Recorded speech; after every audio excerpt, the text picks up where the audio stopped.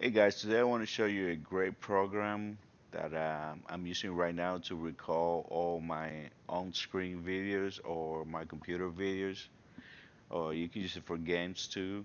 Uh, Um, if you play games, you got to do a different setup. I can show you that too.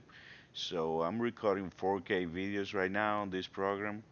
As you can see, if we go to settings right here and we go to video, you can see my, that my resolution is at 3840 times 2160, which is 4K.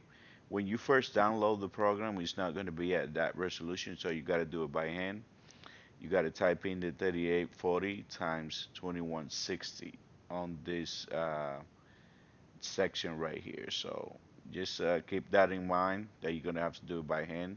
You only got to do it once the first time you download it if you want to recall 4K videos. If you want to record a um, 1080p video, it's going to be set up for that. So you can change the resolution to anything you like. So um, right there, if you want to record games, we're going to go right here and we're going to add, and you're going to you're going to hit this button right here, games capture right there. So that's how you record games. Okay, to download this program, the only thing you got to do is go to OBS project right there, right on top. OBSproject.com.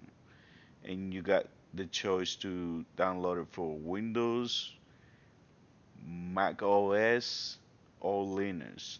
So you got all three there, so you can use it for anything you want.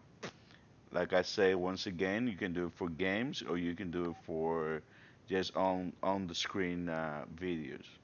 If you're doing it for game, you you only gonna see the game you're playing, so that's a good thing. You don't see anything else but the game you're playing. Right now, I'm doing on the screen video. That's why you can see all the programs and everything else. So I just wanted to show you guys because this is a really good program, especially because it's free too. So you don't get programs like this like this for free, and this is a good one. The OBS uh, version 22.02.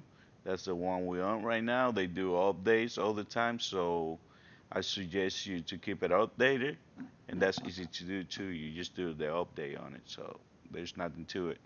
So, guys, I just wanted to show you this program because I found this on YouTube, and it's really helping me out to, uh, you know, make quality videos for free.